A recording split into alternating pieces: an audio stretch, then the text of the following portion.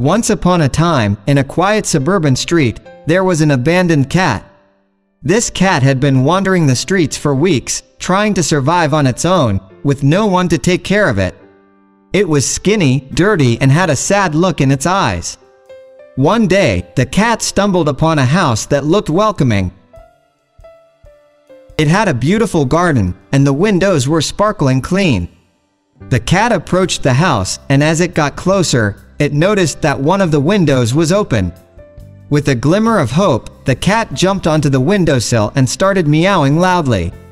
The cat meowed and meowed, hoping that someone would hear it and take pity on it. But no one came. The owners of the house were at work, and there was no one home to hear the cat's cries. The cat, undeterred, continued to meow for hours, trying to get someone's attention. The sun started to set and the street lamps turned on, but the cat didn't give up. It kept meowing, hoping that someone would come.